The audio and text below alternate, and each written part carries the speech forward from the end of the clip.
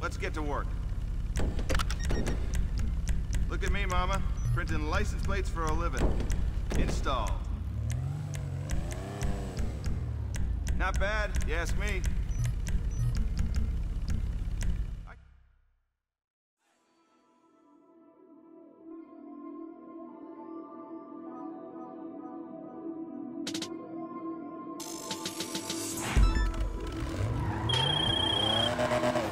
All right, people, let's get this over the line. The quote is for no damage. Get to the buyer like that, and we're good.